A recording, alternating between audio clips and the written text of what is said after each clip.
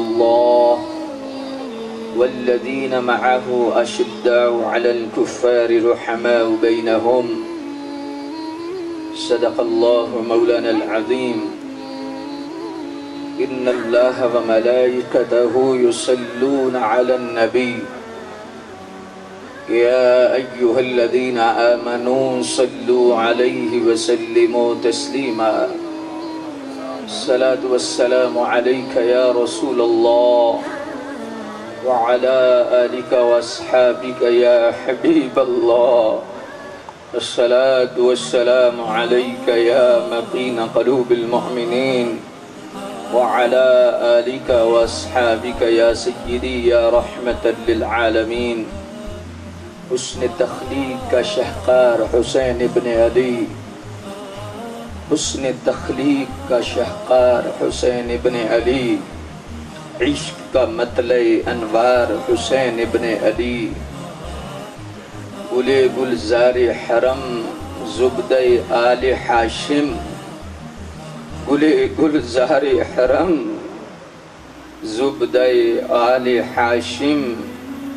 नूर सैद अबरार हुसैन इबन अली। दोजखी आपके रुतबे से कहाँ वाकिफ़ हैं? दोजखी आपके रुतबे से कहाँ वाकिफ हैं? अरे जन्नत के हैं सरदार हुसैन इबन अली। हक ने बहरहाल बातिल को पनपने न दिया। हक ने बहरहाल बातिल को पनपने न दिया। इस चीज़ का है इजहार हुसैन इबन अली।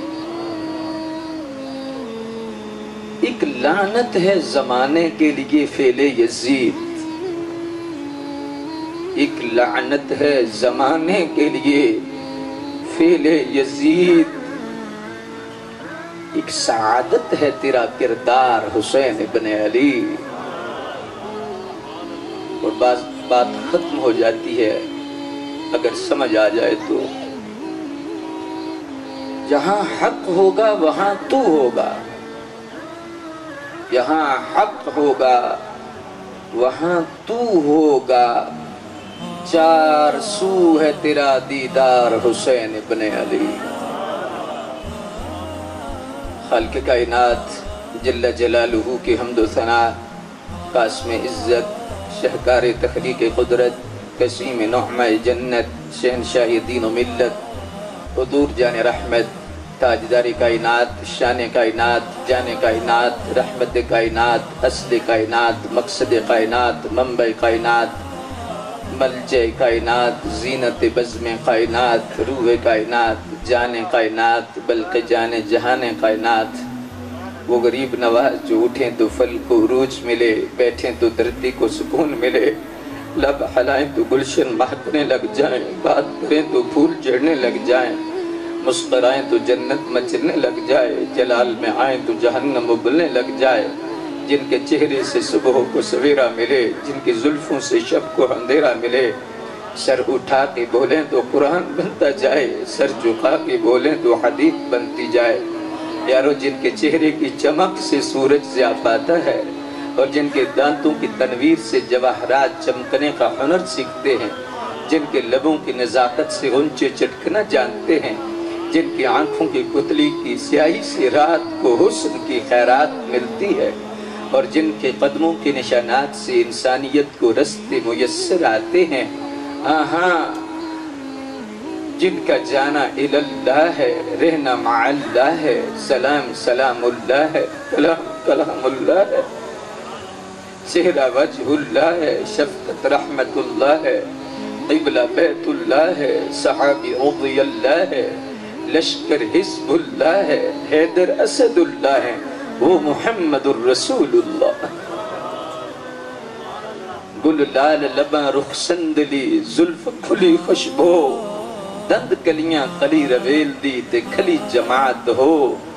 जरा तबस्सुम कीतियाँ अर्श मुअल्ला लो, ऐसा मर्द जहान ते कद मुड़ पैदा हो।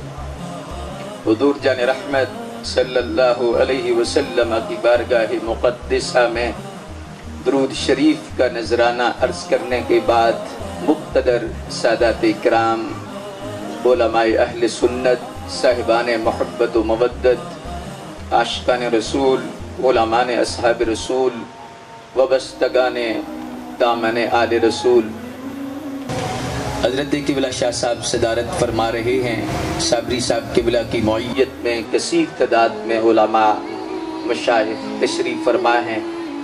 दस मुहर्रम हराम शरीफ को आपका ये प्रोग्राम देख कर और मुंतजमीन का ये इंतज़ाम देख कर अल्लाह तबारक व की बारगाह में दिल दुआ गो है। अल्लाह इनको और ज़्यादा अता फरमाए और दुनिया आखरत की भलाइयाँ अता फरमाए। खुदा जिनसे काम लेता है तो उनको ऐसे रस्तों पे चला देता है। अल्लाह तबारक व की बारगाह में दुआ है कि मालिक सबको दुनिया व आखिरत की बुलाइयाँ अता फरमाए। और नबी करीम रऊफ़ रहीम सल्लल्लाहु अलैहि वसल्लम की अहल बैत इकराम से सच्चा प्यार नसीब फरमाए। अहल बैत इकराम की मोहब्बत ये फ़र्ज़ है, और ऐसा फ़र्ज़ है कि ये अहल सुन्नत का इजमाही नज़रिया है कि अगर अहल बैत की मोहब्बत सीने में नहीं है तो वो बंदा साहिब ईमान नहीं। और अगर अहल बैत की मोहब्बत नहीं तो उसकी कोई इबादत कबूल नहीं है। और वो शख्स मरते दम काफिर हो जाएगा, यानी उसे कलमा नसीब नहीं होगा, जिस शख्स के सीने में बुग्ज अहल बैत है, या नबी करीम सल्लल्लाहु अलैहि वसल्लम के ख़ानदान का बुग्ज है। अल्लाह तबारक व का शुक्र है कि इस ज़मीन पर, इस धरती में चौदह सौ साल से लेकर आज तक जो अहल बैत ग्राम के सही मानने वाले लोग हैं, उन्हें अहल सुन्नत व जमात कहा जाता है। और अहल सुन्नत व जमात ही ऐसे लोग हैं जो हकीकी मानों में अहल बैत ग्राम से मोहब्बत व के तमाम तर रिश्ते और तकाजे नभाते हैं। अल्लाह तबारक व जिस सीने से मोहब्बत फरमाता है, उस सीने में नबी पाक का अदब, नबी पाक का प्यार, हुजूर की आल का अदब, हुजूर की आल का प्यार, उस सीने में दाखिल करता है। रह गया मसला के मोहब्बत अहल बैत का फ़ायदा क्या है?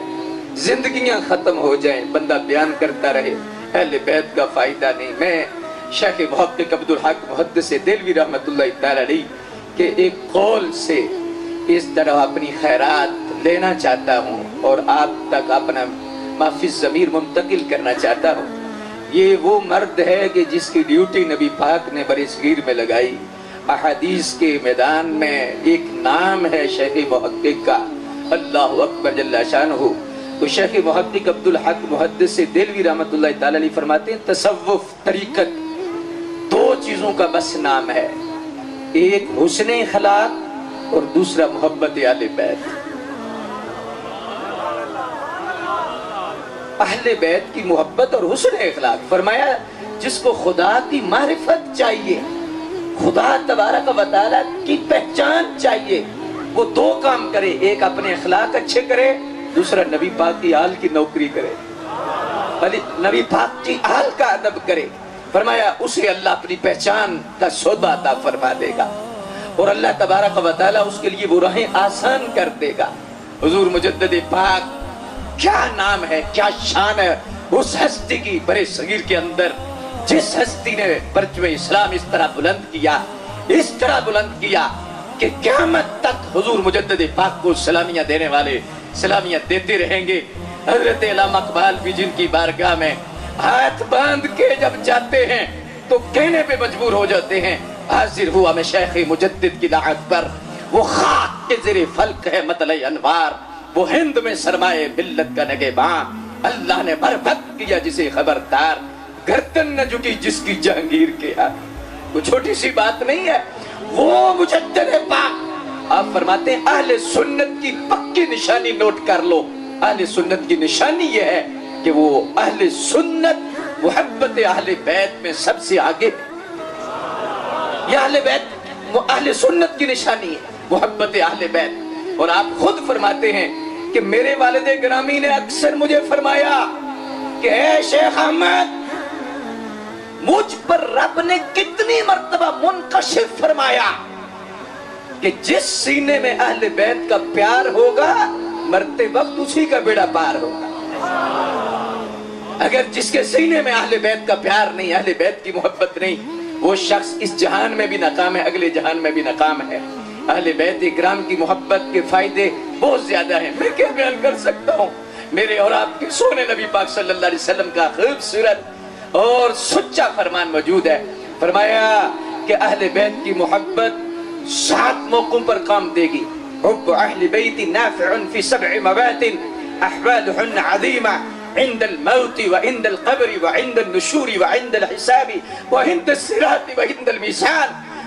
फरमाया मेरे अहले बैत का प्यार तुम्हें सात मौकों पर काम देगा फरमाया मरते वक्त तुम्हें अहले बैत का प्यार ऐसा काम देगा कि जिसके सीने में प्यार होगा उसकी जुबान पर मरते दम भी कलमा जारी हो जाएगा कलमा पढ़ना उसके लिए आसान हो जाएगा जिस सीने में अहले बैत इकराम की मोहब्बत और अहले बैत इकराम का प्यार होगा और फरमाया फिर वो बेईमान नहीं मरेगा। और फिर फरमाया, मरने के बाद अल्लाह अकबर, उसको मरते वक्त नजा की सख्तियों में आसानियाँ होंगी। जहरा का लाल शफकतें फरमाएँगे। और अल्लाह तबारक वाली के महबूब सलाम की आल की मोहब्बत, साया फिगन हो जाएगी। और उसके बाद क्या फरमाया? फरमाया, कबर के अंदर फिर कबर कुशादा हो जाएगी। अशर के अंदर फिर पुल सिरात पर उस बंदे के लिए आसानियाँ पैदा होंगी, जिसके सीने में मेरे अहले बैत का प्यार है। तो उस एतबार से बेशुमार अहादीस मुबारक अहले बैत इकराम की मोहब्बत के फवायद में से हैं। लेकिन मैं ज़रूरी एक वजाहत आपके सामने रखना चाहता हूँ कि इस मजले से बात में, क्योंकि आप संजीदा लोग हैं, मोहब्बत वाले लोग हैं, और यहाँ पर करीब है फैजान पीर मेहर अली शाह साहब रहमत की जात ग्रामी का। अल्लाह अकबर जल्ला शान हो और ये फैजान कितने अलिया का हमारे सरों पर साया फिगन है। अल्लाह अकबर जल्ला शान हो उस एतबार से मैं बुनियादी तौर पर आपको ये समझाना चाहता हूँ कि क्या वजह है कि हम अहले बैत से प्यार करते हैं? वजह क्या है? अल्लाह अकबर जल्ला शान हो चूँकि हमारा मरकज नबी पाक सल्लल्लाहु अलैहि की जात हुजूर की जात हमारा मरकज है। नबी पाक सल्लल्लाहु अलैहि वसल्लम की जात के तसद्दुक से हम सबको मानते हैं, सबकी मानते हैं। और नबी पाक सल्लल्लाहु अलैहि वसल्लम की निस्बत की वजह से सबका एहतराम करते हैं। और जहाँ हमें निस्बत नज़र आती है, हम आँखें झुका लेते हैं। अपनी अपनी जो है, वो अपने हाथ बिछा देते हैं। जब हमें नबी पाक की निस्बत मालूम होती है, उसकी वजह क्या है? अल्लाह अकबर शानू क्योंकि शेख मोहक अब्दुल हक से देलवी ने लिखा है, बल्कि यहाँ पर मैं अल्लाह हज़रत की बारगाह में से खैरात लेकर आपके सामने पेश करता हूँ। मेरे अल्लाह हज़रत फरमाते हैं कि ये जो लफ्ज मोहम्मद है, फरमाते हैं ये बाब तफील है, और बाब तफील के दो खासे हैं। पहला खासा ये है कि इसका जो है, इसमें बेखुदी होती है, बेखुदी। अल्लाह जैसे अब्दुल्ला जब सरकार के पास गए तो कितने दलाल लेके गए, कितने बराहीन लेके गए, कितने सवाल लेके गए। लेकिन जब सरकार के दरवाजे पर पहुँचे, हुजूर के चेहरे को देखा, देखते ही कलमा पढ़ लिया, इतनी बेखुदी आ गई। सरकार के चेहरे में, सरकार के दीदार में इतना अल्लाह तबारक वाली ने रोब और बेखुदी रखी है कि जो बंदा उनके बारे में सोचता है, बेखुद हो जाता है। लेकिन सच्चा सोचने वाला हो ये निशानी अगर देखनी है तो तुम आहले सुन्नत में देखो कि जब भी सरकार का नाम आता है, बेखुदी से अंगूठे चूम के आँखों पे आ जाते हैं। अल्लाह अकबर शानू, ये इस तरह का अंदाज है। फरमाया ये बाब तफील का खासा है। मैं इसमें ज़्यादा डिटेल में नहीं जाना चाहता। दूसरे खासे की तरफ़ आपकी तवज्जो दिलाना चाहता हूँ। कसीर तादाद में उलमा मौजूद हैं। नुकता संजी और नुकता, इस हवाला से नुकता चीनी का अपना मिजाज नहीं रखता लेकिन अगर तनकीद भी है तो बराई इसलाह है। प्यार और मोहब्बत से मैं आज दस मुहर्रम हराम में दरबारे सैदना इमाम हुसैन से खैरात लेना चाहता हूँ और हम सब लेना चाहते हैं। तो उस हवाला से मैं बड़ी ज़रूरी बात आपके सामने रखना चाहता हूँ। फरमाते हैं, दूसरा खासा क्या है? दूसरा खासा है, पहला खासा इसमें बेखुदी होती है। और दूसरा खासा इसका असर कुल तक नहीं जाता, जुज तक जाता है, बाबे तफील का। ये उलमा समझते हैं ये कत्ताना ये बाबे तफील है। यानी यूसुफ सलाम को देखा गया तो जब औरतों ने देखा तो उंगलियाँ काटी तो बेखुदी में काटी। पहला खासा और दूसरा खासा, जुज तक काटी। इधर से भी काटी, इधर से भी काटी, इधर से भी काटी, इधर से भी काटी, इधर से भी काटी। काटी। अल्लाह अकबर शान तो बाबे तफील है हजूर का, इसमें पाक मोहम्मद सल्लल्लाहु अलैहि वसल्लम। ये बाबे तफील है। तो फरमाया, इसका असर कुल तक नहीं, जुज तक है। क्या मतलब? अगर ये जुमला आप समझ गए तो आपको शान अहले बैत, शान साहब कबार अहले सुन्नत का नज़रिया चाँद की तरह रोशन होता हुआ नज़र आएगा। क्या? फरमाया, हुजूर का इसमें पाक बाबे तफील है और बाबे तफील का जो दूसरा खासा, इसका असर कुल तक नहीं, जुज तक है। क्या मतलब? हुजूर की जाति बेमिसाल नहीं, हुजूर की हर निस्बत और बाल बाल बेमिसाल है।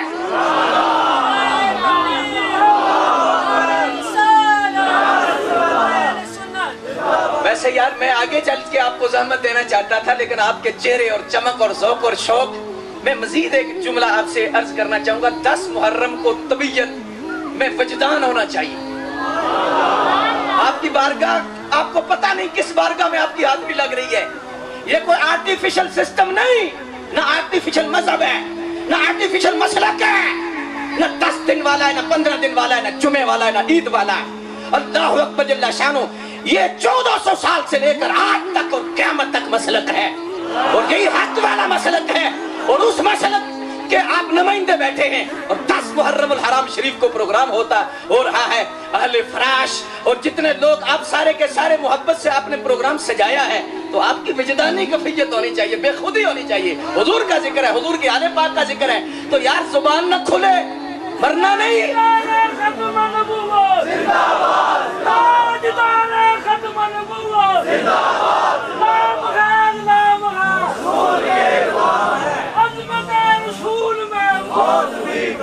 सुबहान अल्लाह सुबहान अल्लाह।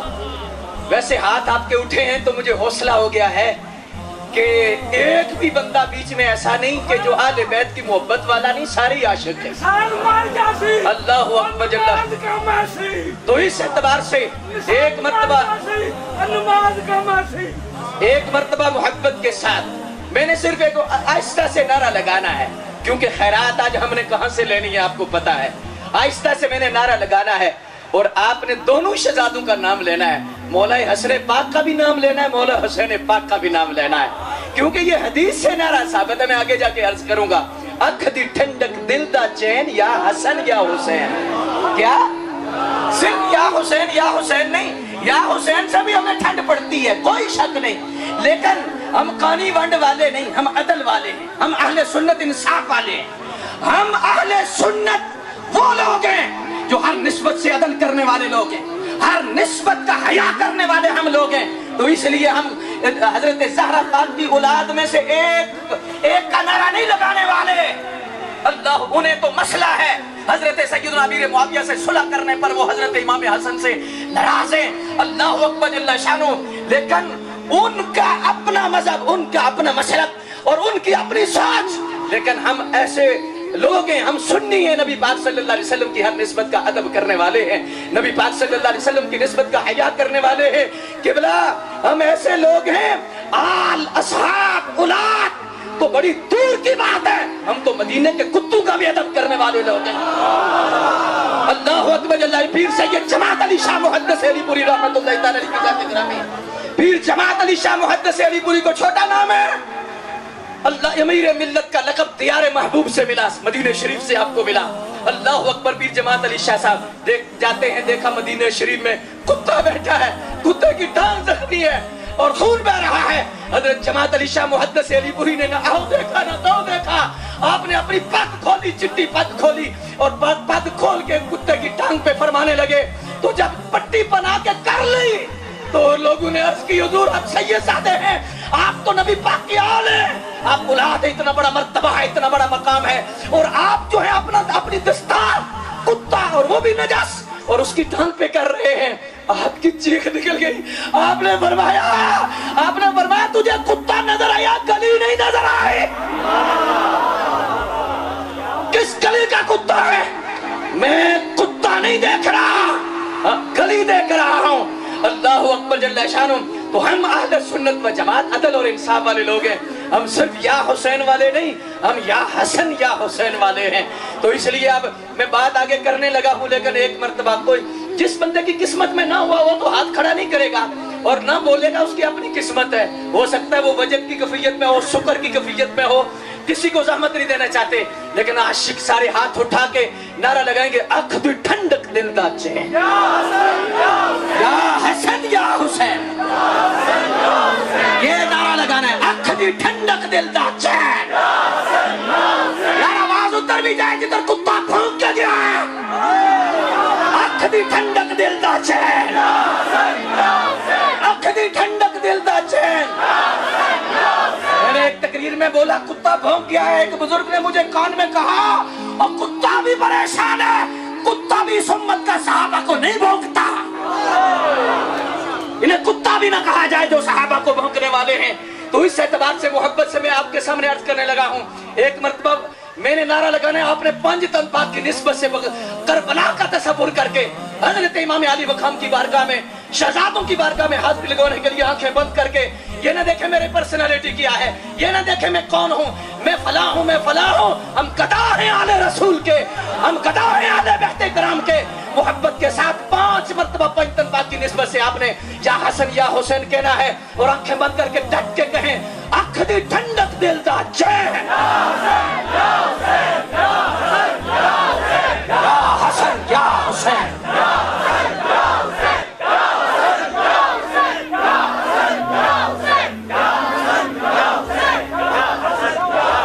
सुनिए जो मैं बात अर्ज़ करने लगा हूँ। आपके चेहरों की चमक मुझे इस तरफ़ लेके आई है। अल्लाह अकबर, किबला मैं आपको मुबारकबाद देता हूँ। खैरात आज कबूल होती नज़र आ रही है।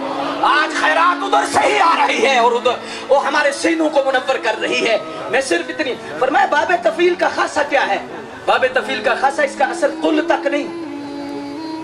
जुज तक जाता है। यानी, अब सुनो, मैं एक जुमला, शायद थोड़ा सा मुश्किल है, लेकिन आप समझने वाले लोग हैं। इसका मतलब यह है आला हज़रत फरमाते हैं, जो हुजूर से मंसूब है। ज़ुबान आला हज़रत है। ए हज़रत नहीं। आला हज़रत की ज़ुबान है। फरमाया, जो हुजूर से मंसूब है। फिर सुनिए, जो हुजूर से मंसूब है। निस्बत। मंसूब होना, निस्बत। फरमाया, जो हुजूर से मंसूब है, वो रब का महबूब है।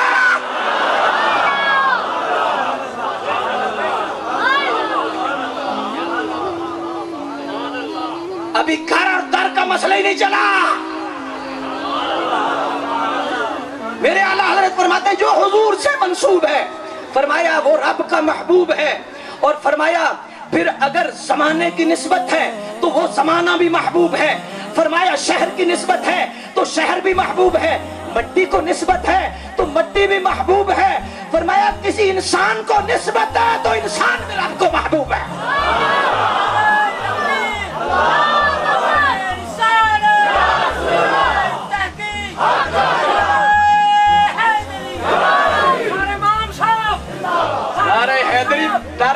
दस मुहर्रम को ऐसे नहीं बोलते। ऐसे बोले, नारे हैदरी।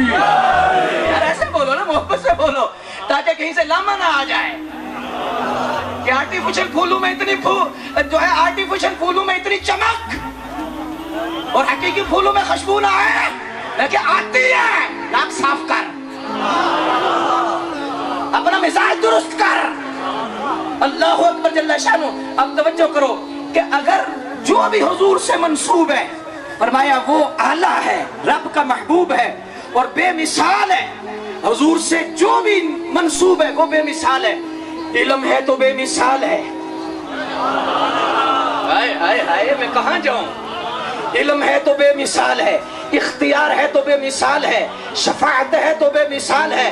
अल्लाह अकबर शानो, जो भी शान, जो भी जो शय भी हुजूर से मंसूब है। वो बेमिसाल है।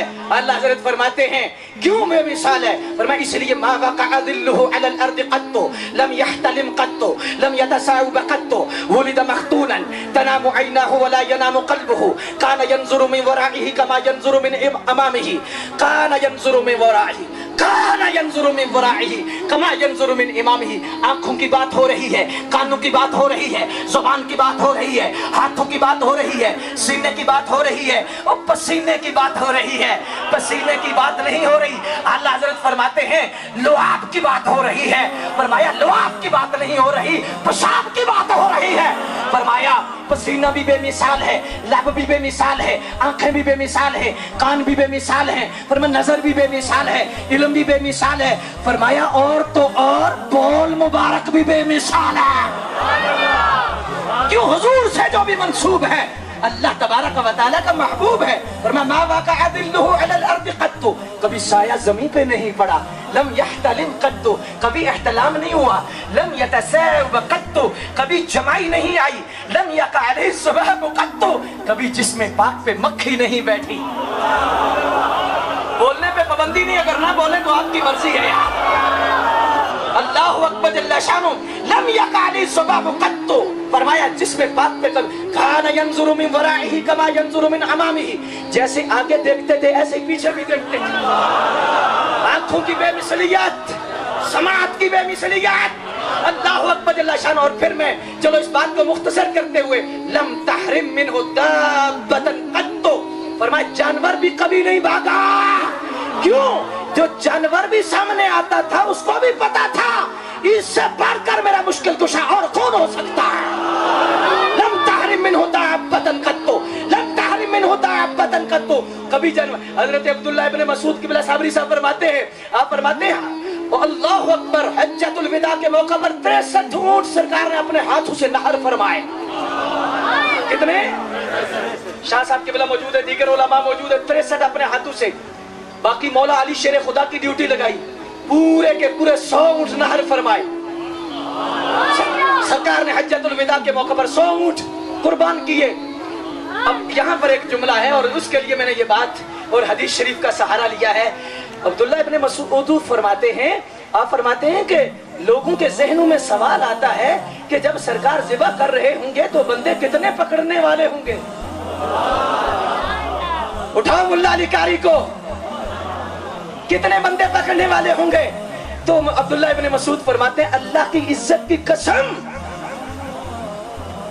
मैं पिंडी वालों से पूछना चाहता हूँ, इस्लामाबाद वालों से पूछना चाहता हूँ, अल्लाह अकबर जल्ला शानो, एक ऊँट को जिबा करते वक्त कितने बंदे होते हैं? तमाशाइयों की बात नहीं, कारीगर। पाँच सात तो होते हैं। या ज़्यादा होते हैं ज़्यादा? होते हैं ना? आपकी तबा की जियाफत के लिए मैंने ये पूछा है। अल्लाह अकबर। तो उस वक्त कितने होंगे? अब्दुल्ला इब्ने मसूद फरमाते हैं, अल्लाह की कसम, तिरसठ ऊँट सरकार ने जिबा फरमाए नहर फरमाए। लेकिन किसी ऊँट को भी किसी ने पकड़ा नहीं, जिसकी तरफ़ भी सरकार इशारा करते थे, आगे गर्दन बचा लेता था। अरे तकबीर।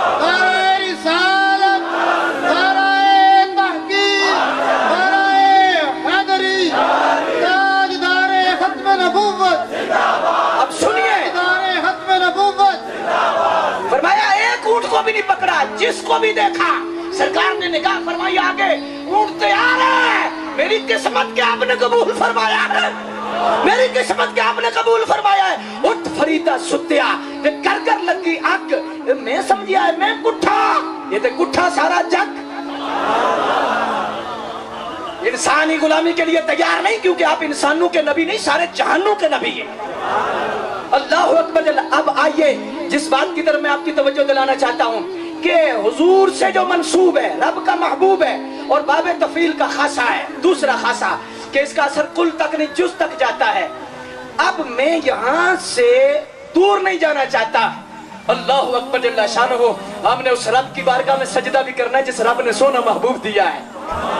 अल्लाह अकबर, अब तवज्जो फरमाओ कि अगर अगर अगर बाब तफील का ये खासा है और वाकई खासा है कि हर जुज पे मिसाल है, हर निस्बत बेमिसाल है तो अब मुझे बताओ, अल्लाह अकबर जल्ला शान हो कि अगर पसीना बेमिसाल है निगाह नज़र बेमिसाल है, समात बेमिसाल है, अल्लाह अकबर बोल मुबारक बेमिसाल है तो आप बताओ, बाबे तफील कह रहा है वो फरमाया, माँ भी बेमिसाल है, बाप भी बेमिसाल है, अजवाज भी बेमिसाल है, औलाद भी बेमिसाल है, असहाब भी बेमिसाल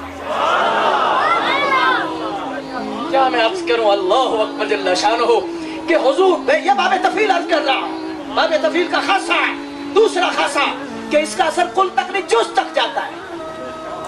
कि हुजूर से निस्बत हो गई, बेमिसल हो गए अब यहाँ पर मैं मुख्तर सामी नजरात अर्ज़ करना चाहूँगा कि जो नबी पाक सल्लल्लाहु अलैहि वसल्लम को मोहम्मद मानते हैं, जी, हकीकी मानू में, उनके लिए शर्त है कि हुजूर के वालिदैन को भी बेमिसल माने, हुजूर की अजवाज को भी बेमिसल माने, हुजूर के असहाब को भी बेमिसल माने, हुजूर की क्यामत तक की औलाद को भी बेमिसल माने। अल्लाह अकबर यहाँ पर अगर इजाज़त हो तो मैं काजी अयाज का सहारा लेना चाहता हूँ। मैं वैसे मोहब्बत से पूछ रहा कोई थका तो नहीं है ना? तो हाथ उठा के कहो अख दी ठंडक, दिल दा चैन। ये आवाज़ ऐसी नहीं, पीछे से नहीं आ रही, शायद मुझे नहीं आ रही। अख दी ठंडक, दिल दा चैन। मेरा अंदाज हो रहा है, लेकिन दस मोहरे में आ जाए आज दस मोहरे में दस, बस। अख दी ठंडक, दिल दा चैन। या हसन, या हुसैन। ये वजीफा करो, रात को करम हो जाएगा।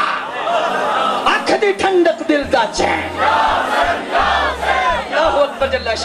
काजी याद फरमाते हैं, आज जिस जगह तमाम उलमा इस बात पे मुत्तफिक है, अल्लाह जिस जगह हुजूर की कब्र अकदस है, और कब्र अकदस में जिस जगह हुजूर का जिसमें पाक है, और जिसमें पाक के साथ जो फरमाया कपड़ा लगा है, कपड़े के साथ फरमाया जो मट्टी लगी है, फरमाया तमाम उलमा मुत्तफिक हैं कि वो मट्टी इतनी आला है, जिसम से नहीं लगी। यार बोले बोले ना बोले बोले कब, जिसम से नहीं लगी, जिसम से डायरेक्ट फैजान ले रहा है कफन शरीफ। और कफन से फैज ले रही है मट्टी। और मट्टी की शान क्या है? मट्टी की शान ये है फरमाया वो मट्टी तमाम उलमा मुत्तफिक हैं, बल्कि खवारिज के भी सरकुना जो लोग हैं, इब्न तैमिया जैसा शख्स, वो भी इस पे इत्तफाक करता है कि वो मट्टी कौन सी? जो हुजूर के कफन से लगी है कब्र शरीफ में, वो मट्टी। अब बोलेंगे तो फिर देखेंगे कि रहमतों के दरवाजे कैसे खुलते हैं। पर मैं, वो मट्टी अर्श से भी आला है। वो मट्टी लोह से भी आला है। वो मट्टी कलम से भी आला है। वो मट्टी बैतुल मामूर से भी आला है। वो मट्टी फरमाया, सुन, अगर सीना है तो जुमला सुन। वो मट्टी काबे से भी आला है। काजी अयाज माल की किताब शिफा में लिखते हैं कि वो अर्श से भी आला है, काबे से भी आला है। अब मैं रुक कर यहाँ पर सवाल करना चाहता हूँ आप गयूर सुन्नी लोगों से। अल्लाह अकबर मुझे पता है कि आपका ना ज़ाहिर काला है, ना आपका बातन काला है, क्योंकि आपके अंदर नबी पाक की मोहब्बत का उजाला है। अल्लाह अकबर क्योंकि आप सीने पे हाथ रख के जवानों की तरह हक तस्लीम करते हैं। हाथ मारना और है। हाथ हाथ मारना और है। अल्लाह अकबर जल्ला शान हो और हाथ को सीने पे लगाना और है। अल्लाह अकबर जल्ला शान हो इस एतबार से मैं ये सिर्फ़ इतनी मोहब्बत से अर्ज़ करना चाहूँगा बात कि मट्टी अर्ज़ से आला है। मट्टी जिस्म का हिस्सा नहीं। दस मुहर्रम है। ये जहन में रखें। और बात बड़ी ऊँची जा रही है। मेराज हो जाएगी आपको अगर आपकी समझ में आ गई। मट्टी जिस्म का हिस्सा नहीं, लेकिन मट्टी अर्श से आला है। मट्टी अर्श से आला है। जी, जिस्म का हिस्सा नहीं।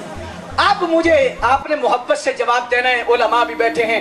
आपकी बारगाह में ये मैं सवाल करना चाहता हूँ, अगर मट्टी अर्श से आला है, उस माँ का क्या मकाम होगा जिस माँ के पेट में नौ महीने सरकार रहे?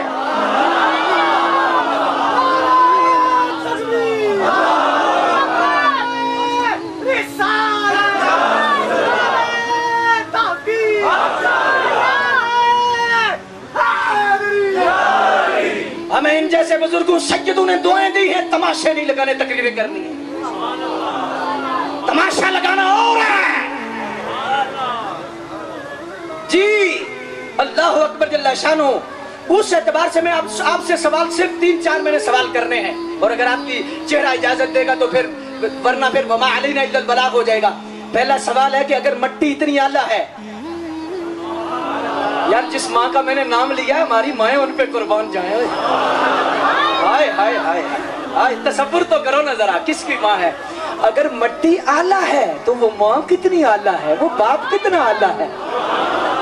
अल्लाह अकबर जल्ला शानू। अब मैं अगर इजाज़त हो तो एक और सवाल कर लू? अगर मट्टी आला है तो जिसके बिस्तर पर लेटे कुरान उतर आए, आशा का क्या मकाम होगा?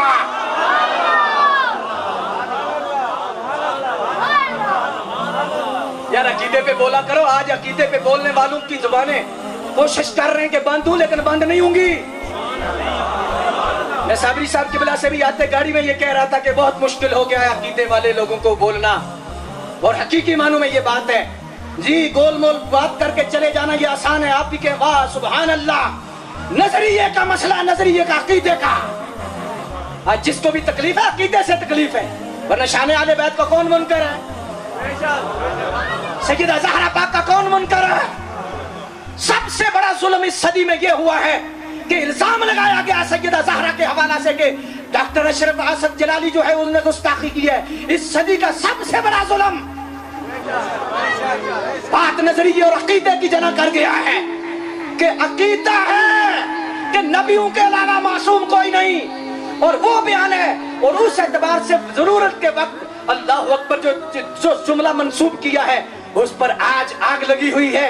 नफ्स मसला पर कोई बात नहीं कर रहा है, फजाइल पे बात जितनी कॉन्फ्रेंसें हुई हैं, पूरे पाकिस्तान के अंदर मैं बड़े दावे से कहना चाहता हूँ, जी ज़िम्मेदारी से करना चाहता हूँ, सारी फजाइल पे हुई है, नफ्स मसला पे नहीं हुई। फजाइल पे हुई है। दो दो घंटे की तकरीरें, डेढ़ डेढ़ घंटे की तकरीरें।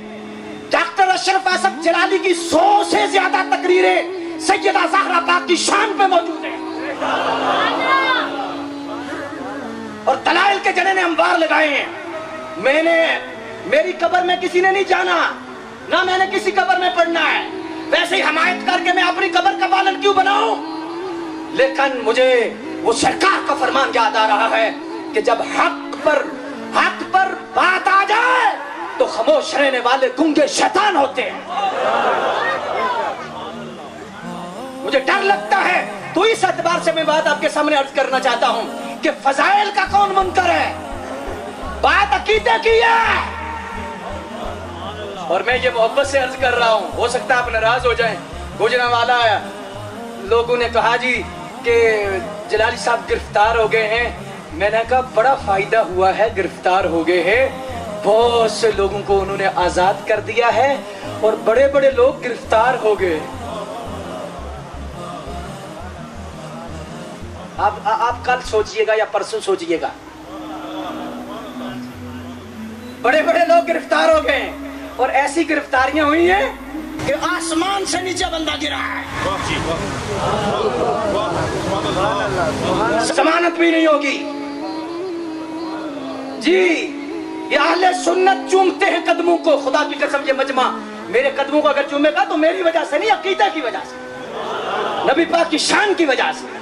नबी पाक की अजमत की वजह से तो उस एतबार से मैं मोहब्बत से आपके सामने अर्ज़ कर रहा हूँ कि अकीदे के एतबार से बोलिए और अब जवाब दीजिए कि अगर मट्टी अर्ज़ से आला है तो हुजूर की अजवाज कितनी आला होंगी? नहीं, आप नहीं बोलोगे तो ज़्यादा होगी। ना ना यार, नहीं नहीं। अकीदे वाले पवे पंज ही बोलो यार। ये तो सारा मजमई अकीदे और नज़रिए वाला है। अल्लाह अकबर शानो। अब तवज्जो करो। मैं जो बात अगली भी अर्ज़ करने लगा हूँ, मोहब्बत से अर्ज़ करने लगा हूँ, और नज़रिए के हवाला से अर्ज़ करने लगा हूँ, मट्टी अगर अर्श से आला है, अब जुमला हाथ इधर रखना, मारना नहीं। इधर हाथ रख के सुनना है। मट्टी अगर अर्श से आला है, जो कफन से लगी है तो जो दो यार साथ लेटे हैं। अरे!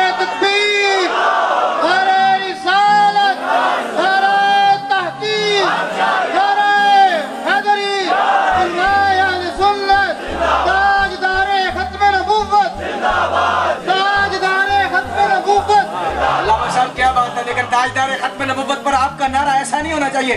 दोनों हाथ उठाते सरकार की बारगाह में हाजिरी लगाए। ताजदार खत्म ताजदार खत्म नबूवत। ताजदार खत्म शाह ने कल कहा है, जो खत्म नबूवत में काम करता है, उसकी पुष्ट खाली नहीं होती, मदीने वाले का हाथ ताजदार खत्म नबूवत। ताजदार खत्म लब्बैक लब्बैक लब्बैक या रसूल अल्लाह लब्बैक लब्बैक आप सुनिए जो बात मैं आपके सामने जजाक अल्लाह अल्लाह आपको खुश रखे। यार आपके चेहरे मुझे याद रहेंगे। अल्लाह अकबर जल्ला शानो। तवज्जो फरमाइएगा, अगर मट्टी अर्श से आला है तो जो दो यार साथ लेटे। मैं वजात नहीं करना चाहता। वो काले कमीने तुझे क्या पता के नबी के यारों की क्या शान है? मुल्ला अली कारी ने यह जुमला लिखा है। मुल्ला अली कारी फरमाते हैं, आप फरमाते हैं कि हुजूर की हदीस है, आज भी रोज़े पे लिखी हुई है, मन जार कबरी। वजबत यार, आपके बोलने की वजह से मैं बोल रहा हूँ तो ठंडे तो ना मन कबरी वजबत लहू शफाती। फरमाया, जो जो मेरी कब्र की जियारत करेगा, उस पर मेरी शफात। जी, बोलिए, शफात वाजिब होगी।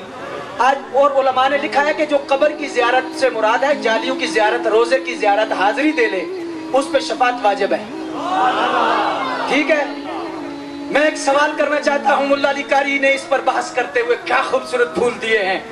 आप फरमाते हैं 1400 साल के बाद साबरी साहब जाएँ, शाह साहब जाएँ, अलामा साहब जाएँ, हाफिज साहब जाएँ, ये तिबला जाएँ, ये अलामा साहब जाएँ, दीगर आप में से कोई बंदा 1400 साल के बाद जाए और अकीदा सही हो तो उसको ये शर्म मिले कि सरकार पर मैं तेरी शफात करूँगा।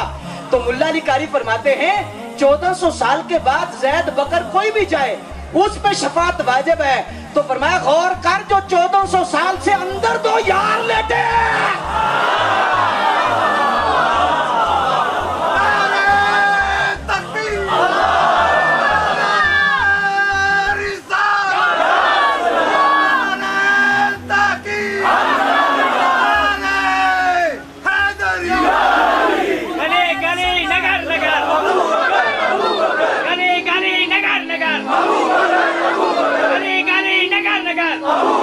शान सिद्दीक अकबर किसी काले कमीने से ना पूछो।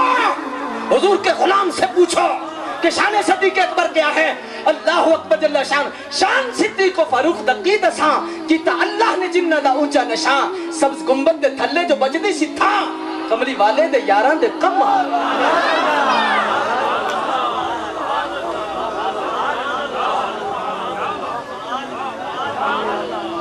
अल्लाह अकबर जल्ला शान हो अब मैं मिस यार वैसे ना मियाँ मीर एक बुज़ुर्ग हुए हैं लाहौर वाले। बात आ गई है तो मैं अर्ज़ कर देता हूँ। मुझे आपको करबला में लेके जाना है।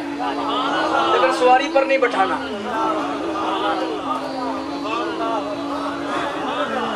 अब तो बचो करो जब हाथ में करने लगे। हज़रत मियाँ मीर अलैह की जात ग्रामी। आपके पास ना एक मुजतहिद आया, अहले तशी के जो है ना, उनकी टर्मिनोलॉजी है। इस्तलाह है उलमा के बारे में कि जो सबसे बड़ा उनका होता है उसे मुजतहिद कहते हैं। क्या कहते हैं? उनका अपना साहब है। तो एक मुजतहिद मियाँ मीर साहब की बारगाह में आया। और ये पता है वो जना है? अल्लाह अकबर जल्ला शान। औरंगज़ेब आलमगीर मिलने आया था, मिलने। औरंगज़ेब आलमगीर। आप आराम कर रहे थे, चौकीदार ने इजाज़त नहीं दी थी। बड़े शरीर के तख्त पर बैठने वाले बादशाह की मुलाकात की। तख्ते सकंदरी पर वो थूकते नहीं, बिस्तर लगा है जिनका तेरी गली में। औरंगज़ेब आलमगीर फिर, मैं अब वाक्य नहीं बयान करता पर फिर छोड़ देता हूँ। अल्लाह शाम को भी जुमे के निश्चित है। हज़रत मियाँ मीर की बारगाह में ना आया मुजतहिद जब मुजतहिद आया तो आप उसने बैठा, बैठ के बातचीत हुई तो मियाँ मीर साहब ने एक सवाल किया। साहब हुजूर बुज़ुर्ग थे खुदा की कसम हज़रत मियाँ मीर दाता साहब की के लिए आए। कादरी सिलसिले का जना है और लाजवाब जना है। ये तो की दुनिया में पूछो ना कि मियाँ मीर के कद कितनी ऊँची। हज़रत मियाँ मीर उनके खुद सफीनतुल में लिखा है, अल्लाह अकबर जल्ला कि आप जो खास खादिम था ताजुद का वज़ू कराने वाला अल्लाह एक दिन आप खुश होके पूछने लगे, बता, माँगता क्या मांगना है? और मांग क्या मांगना है? दरवेश, जब खुश होता है तो फिर ऐसे लफ्ज क्या बात क्या मांगना है? और उसकी हुजूर, सारी ज़िंदगी आपकी नौकरी की है। मैं माँगता कुछ नहीं, मुझे एक रात से पर्दा हटा दे। मैंने कितने साल होते देखते कि आप तहज्जुद का वज़ू करते हैं, हुजरे में दाखिल होते हैं। लेकिन मैं जब पीछे से देखता हूँ, आप नज़र नहीं आते। ये राज मुझे बताएँ कि ये मसला क्या है? ये हकीकत क्या है? नबी करीम सल्लल्लाहु अलैहि वसल्लम के गुलाम की शान देखो। हज़रत मियाँ साहब तआला की साथ ग्रामी आपने फरमाया भी मैं वादा कर चुका हूँ कि तुझे बताऊँगा, तुझे दूँगा, जो मांगेगा तूने ऐसा चीज़ मांग ली, राज से पर्दा। फरमाया, मेरा नाम मियाँ मीर है। और फरमाया, मैं तहज्जुद का वज़ू लाहौर में करता हूँ, तहज्जुद मस्जिद नबवी में पढ़ता ये शान है खिदमतगारों की सरदार का आलम क्या? अल्लाह अकबर शानो। उस एतबार से मुक्तदिर सामीन हज़रत, मैं जो बात आपके मियाँ साहब की बारगाह में बंदा आया, मुजतहिद, कहने लगा, हज़रत, क्या हाल है? आपने फरमाया भी ठीक ठाक तुम बताओ। साथ ही आपने सवाल कर दिया कि यार बताओ, इमाम हुसैन की क्या शान है? मियाँ साहब ने फरमाया, इमाम हुसैन की शान की है। वो कहने लगा कि हमारे नज़रिए और हमारी किताबों में लिखा है कि आज जिस जगह इमाम हुसैन की कब्र है ना, उस जगह चाल, चालीस मील मशरक मगरब शमाल जुनूब, यानी चारों तरफ़ किसी मानने वाले की कब्र बने। तो उस बंदे को इमाम पाक की बरकत से अजाब कब्र नहीं होगा। शिया मुजतहिद कहने लगा, मियाँ साहब की, आपने ना ऐसे सर नीचे कर लिया, आँखों में आँसू आ गए। उसने समझा बात बड़ी है और ये वेड़ा छोटा है। मियाँ साहब ने सारे उठा के फरमाया, पुत्र, नहीं। तेरी अपनी किताब, तेरी अपनी सोच थोड़ा अपना नज़रिया थोड़ा अपना मसलक। फरमाया, मेरे, मेरी किताब नहीं। और मैं आहले सुन्नत दिलों ते लिखा है। चाली मील दूर की है, कायनात ते किसे कोने ते भी इमाम हुसैन दा गुलाम लेटे। ते होवे गुलाम हुसैन। ओनु अजाब कबर नहीं हो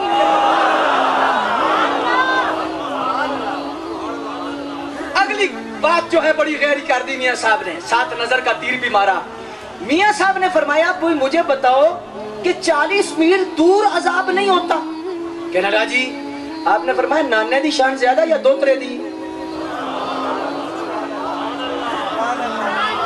अब तवज्जो आपने करनी है। तवज्जो करनी है, बात ऊपर जा रही है। नाने दी शान ज़्यादा या दो दोतरे दी? चुप करके कहने लगा, जी, नाने दी। ते आपने फरमाया दो तरे दे 40 मील दूर बरकत मंगदे हो तो जो 1400 साल तू नाने को दो यार लेटे हैं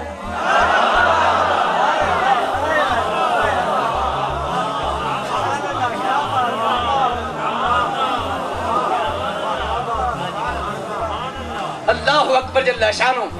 अब मैं बात बिल्कुल मुख्तसर करने लगा हूँ। अल्लाह अकबर लेकिन आपके चेहरे कहते हैं कि रात पड़ जाए, बात खत्म ना हो। आप इतने आशिक लोग बैठे हैं, क्या बात है आपकी? अल्लाह आपको खुश रखे। लेकिन अगली बात जो मैं करना, क्योंकि मैंने ये बात इसलिए अर्ज़ की है कि ये आपके करीब ऐसा हादसा हुआ जिसने पूरी दुनिया के मुसलमानों के जो है, सीने छलने किए हैं। और इस हबीस ने सैयदना सिद्दीक अकबर की गुस्ताखी की है। लेकिन कुत्ते भौंकते रहते हैं, चाँद का कुछ नहीं बिगड़ता। अल्लाह अकबर जल्ला और मैं एक और जुमला भी कह दूँ।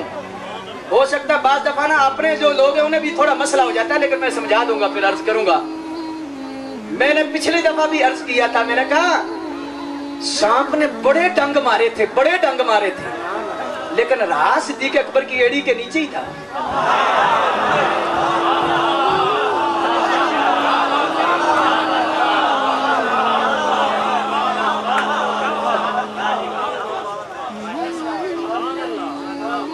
काले नाक। हाथ उठा के कह दे सुबहान अल्लाह हाँ, ऐसे और कह दे सुबहान अल्लाह ये काले नाग जितने डसेंगे कियामत तक रहेंगे सिद्दीकियों की एड़ी के नीचे। हाँ। एक बंदा अलामा साहब कहने लगा, चूँकि वजात में कर दूँ। कहने लगा, जी, अलामा साहब, ये तो बात है कि उस नाग को तो बुज़ुर्गों ने आशिक रसूल लिखा है, आशिक रसूल लिखा है। मैंने कहा शायद के मुहक्किक से पूछो ना। किसी ऐसे बंदे ने कह दिया होगा कि वो आशिक रसूल है, लेकिन तहकीक ये कहती है कि नहीं। लेकिन अगला जुमला मैं सिर्फ़ कह के इजाज़त चाहूँगा। अल्लाह अकबर शानो जो नबी पाक के यार, यारे गार को डंग मारे, हम उसे आशिक रसूल नहीं कहते। आपको शायद समझ नहीं आई। जो सिद्दीक अकबर को टंग मारे, वो आशिक है सरकार का?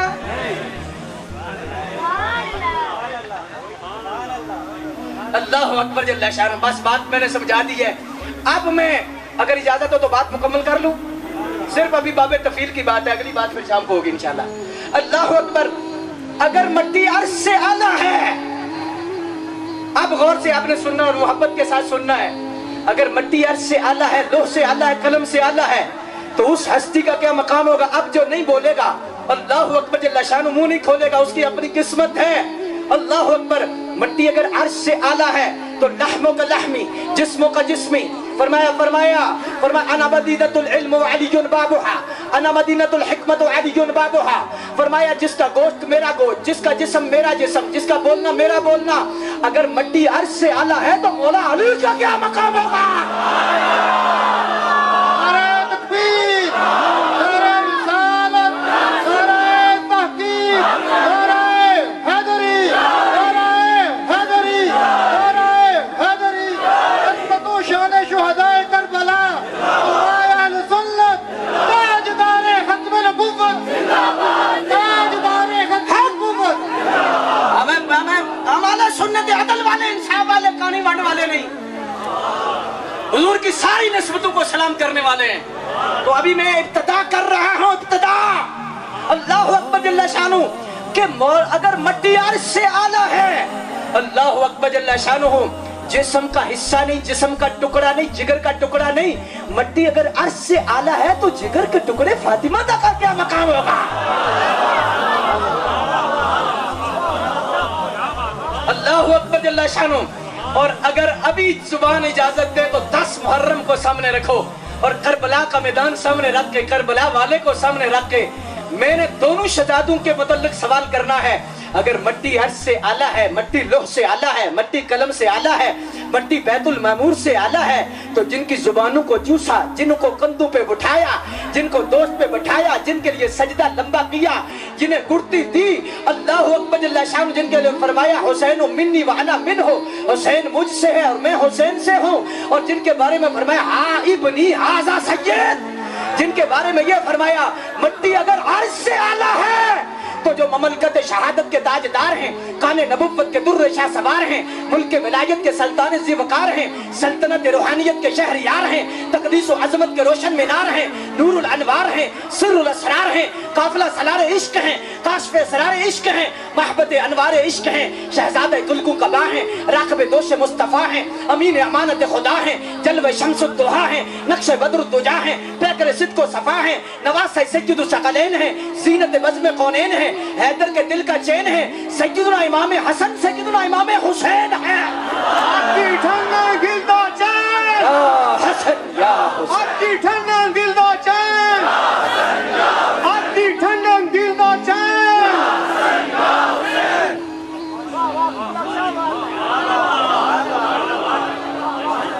मैं आपकी बारगाह में सिर्फ़ इतना अर्ज़ कर सका कि सिर्फ़ बाबे तफील हुजूर का नाम बाब तफील है कि बाब तफील के दो खासे हैं। और एक खासे पर थोड़ी सी बात शुरू कर सका कि इसका असर कुल तक नहीं जाता जुस तक जाता है। और हजूर से जो मनसूब है, वो रब का महबूब है।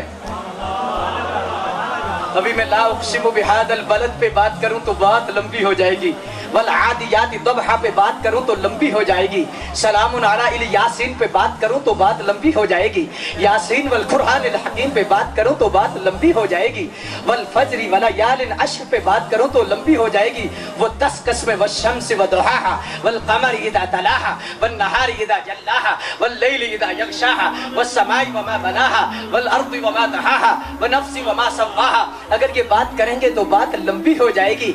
अल्लाह अकबर जल्ला शान हो लेकिन इंशाअल्लाह तबारक व तआला शाम की जो नशिस्त है, इसी से आगे हमने चलाना है। अल्लाह अकबर जल्ला शान हो और आपने अल्लाह अकबर जल्ला शान हो इसी एतबार से अब मोहब्बत के साथ मैंने दो जुमले अर्ज़ करने हैं और आपने मेरा जवाब देना है कि एक है शान हुसैन, एक है पैगाम हुसैन। अगर इजाज़त हो तो मैं जुमला अर्ज़ करूँ ना? बोलो ना। शान पे बात की है। पैगाम पे अर्ज़ करूँगा ये हज़ारों लोग बैठे माशाअल्लाह पंडाल बिल्कुल भरा पड़ा है। और मेजबान की जो है मेजबानी को ये का मुँह बोलता ये सबूत है कि ये लोग जो है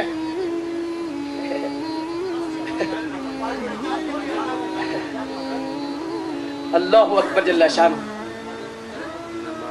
मुझे शाह साहब का हुक्म है तो इंशाल्लाह 11 मिनट में और मजीद अर्ज़ कर देता हूँ।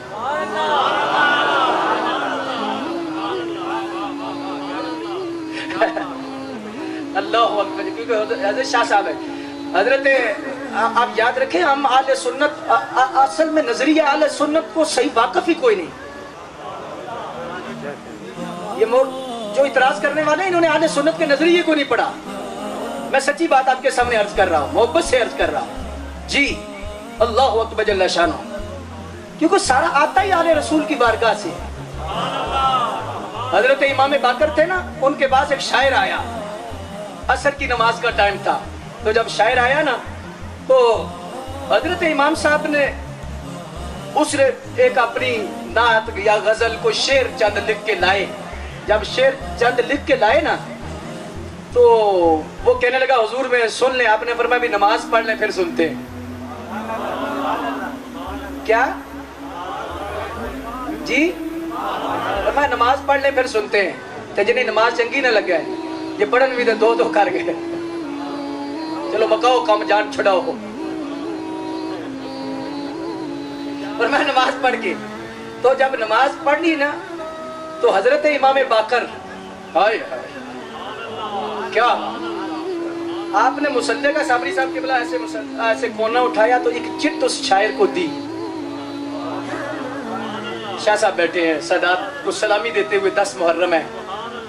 चिट दी ना तो वो शायर चिट की तरफ़ देखता कभी आपके चेहरे को देखता पढ़ के ना, ठप के ना तो सर नीचे का पर मैं क्या हुआ है? कहने लगा, हुजूर होना क्या है? मैं आज ही लिख के लाया हूँ फजर के बाद। फजर के बाद लिख के लाया हूँ। और दिखाया भी है तो आपको। लेकिन मुझे समझ नहीं आई कि जो मैंने लिखा है, आपने मुझे दिखाया है।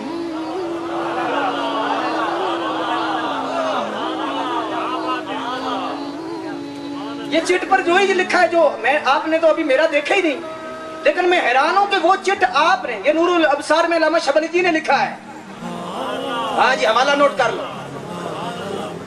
अलामा शबनन जी कहते हैं कि हज़रत इमाम साहब ने उसकी हैरानगी के पूछा, क्या हुआ है? कहने लगा होना क्या है?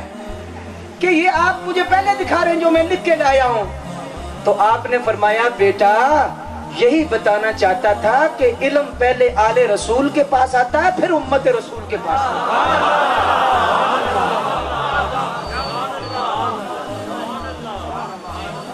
जी शाह जी का हुक्म है तो 11 मिनट हमने पूरे करने हैं। अल्लाह अकबर जल्ला शानो। तो इस एतबार से मैं जो बात आपके सामने, असल में पता है क्या मसला है? मैं इस हवाला से सिर्फ़, चलो एक बात बाब तफील के हवाला से अर्ज़ कर दो। सिर्फ़ एक बात अर्ज़ कर दो कि बाब तफील का ये जो खासा है ना कि इसका असर कुल तक नहीं, जुज तक जाता है। मरकज नबी पाक सल्लल्लाहु अलैहि वसल्लम है। अब उस मरकज से जो भी जुड़ा, एक तो उसका अदब वाजिब है। चाहे 20 साल बाद कलमा पड़ा 30 साल बाद पड़ा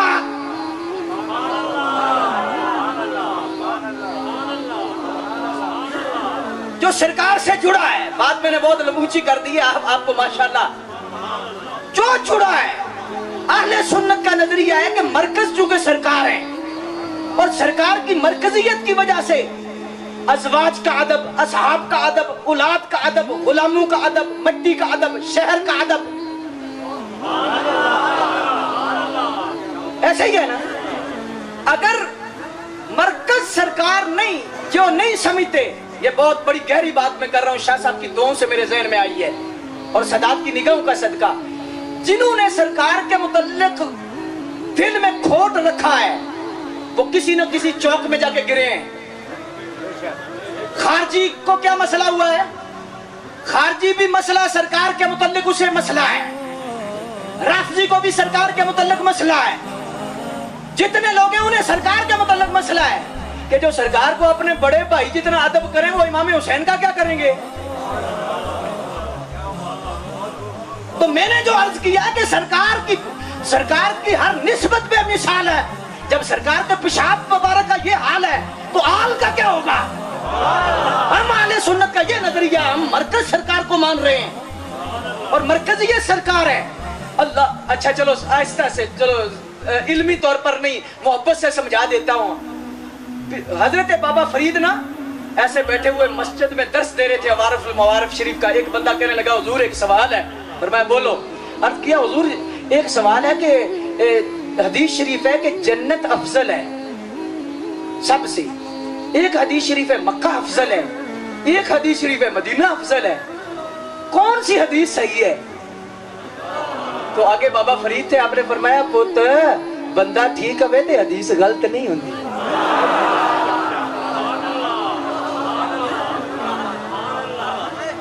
ये तीनों हदीसें सही हैं। अर्ज़ की हुजूर को तदबीक किस तरह होगी? मस्जिद में चूँकि जना बैठा था, जिस तरह से साबरी साहब बैठे हैं। तो आपने फरमाया भी ये मुसल्ला पड़ा है? जी पड़ा है। इधर मुसल्ला पे, पे बिछा दीजिए।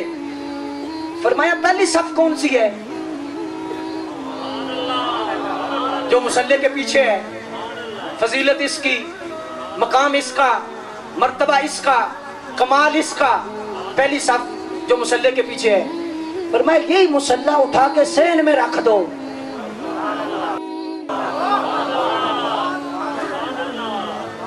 मुसल्ला उठाओ और सहन में रखो। फिर कौन सी साफ़ अफजल होगी? ये? इस साफ़ पर अफजल होना तो बड़ी दूर की बात है। साबरी साहब से मुझे नमाज़ ही नहीं होगी। जब इमाम साहब पीछे हूँ।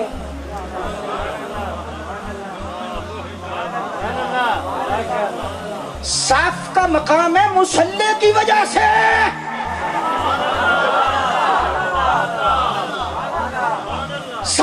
मकाम अब ना बोलोगे तो आपकी अपनी मर्ज़ी है। लेकिन मुंतजमीन को और हमें खराब मिल रही है। मैं जो बात आज कर रहा हूँ, सफ का मकाम है मुसल्ले से। फरमाया, हुजूर जब मक्के में थे, मक्का अफजल था। मदीने में मदीना अफजल है। जब हुजूर जन्नत में डेरा लगाएँगे, जन्नत अफजल हो जाएगी। अरे अरे अरे अरे हैदरी ताजदार हत्म नबूवत लब्बैक अब लब्बैक तवज्जो फरमाए। क्या बात है, लामा साहब की, लेकिन 11 मिनट नारू में मैं नहीं देना चाहता, पूरी ईमानदारी से देना चाहता हूँ। अब तवज्जो करो, जो बात आपके सर मुसल्ले की वजह से सफ की इज़्ज़त है। आल, असहाब, उलाद, अजवाज। अजवाज तो आपकी भी है, आल, उलाद तो आपकी भी है, यार तो आपकी भी है। लेकिन आले रसूल, असहाबे रसूल उलादे रसूल गुलामान रसूल, इनका मकाम है रसूल की वजह से।